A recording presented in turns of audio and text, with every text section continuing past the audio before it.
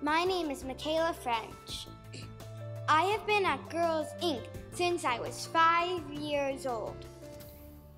One thing I like about going to Girls Inc. is that you are just with girls. Sometimes boys only see part of what is you. For example, they might only see you as a ballerina.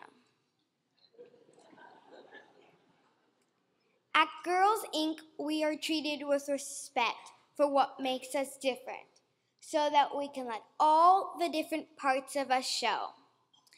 At school, sometimes boys tell us, oh no, we're playing a boys' game of ball right now. they can get aggressive and tackle each other, even though they are not supposed to.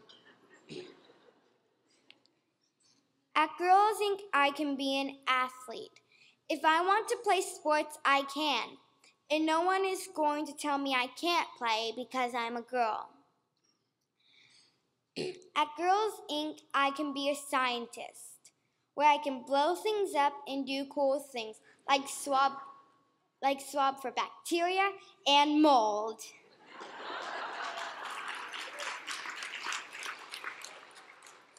Sometimes boys say things about girls that offend us. We have to stand up and debate things like equal rights for women.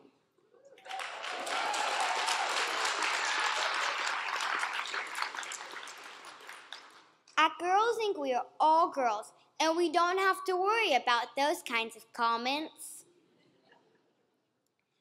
At school, people think I'm a nerd because I go to the library at recess.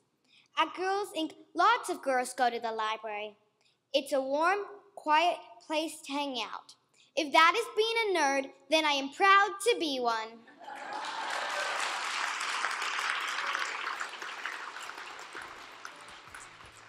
When I grow up, I hope I can show the world that I am not supposed to be anything but myself, and that there are many, many parts to me.